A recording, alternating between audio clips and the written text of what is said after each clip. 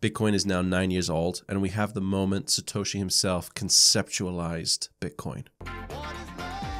Genius. A year and a half later, some man would buy two Bitcoins for 10, no, let me start that again. Two pizzas for 10,000 Bitcoins, today valued at $150 million.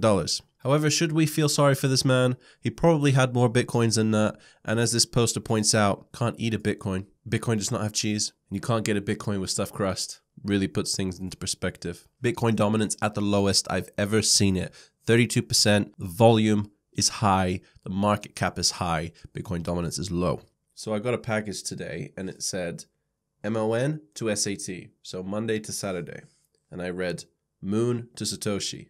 That's probably a sign saying that there's just too much crypto in my life. The market is so incredibly active right now. I was trying to use three different exchanges, and all three of them I had difficulties, slows, or just straight up not working. Yes, due to traffic reasons, a lot of traders right now excited about these gains. This kind of growth worries me a little bit. Like Ethereum over a thousand dollars, that doesn't. 150% for Tron after the day of 50 cent 50% before. That's insane. For a market cap worth billions, you never used to see this stuff at all. So here's exactly how to play the market right now. It might seem super simple, but this is actually what's happening. This isn't financial advice, by the way. This is my opinion. The market is currently favoring coins that are relatively cheap that have high circulating supplies. Ripple, Cardano, Tron, Stellar. Someone actually makes a very useful infographic about it. So this chart shows the growth from the last seven days for coins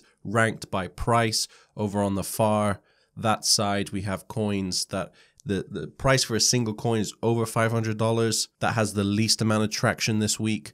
The coins between 10 cents and $1 have 131% gains. This is the top 100 by market cap, by the way. And coins less than 10 cents, 106% gains. With that said, this is only one factor of many. Partnerships, announcements, technical updates, these types of things are extremely important as well. I don't mean to minimize that. And correlation doesn't always imply causation. However, if you were to have used this principle in the last week, you would have had success. So take it or leave it. But let's be real here. We all want this roller coaster to keep going. What is love?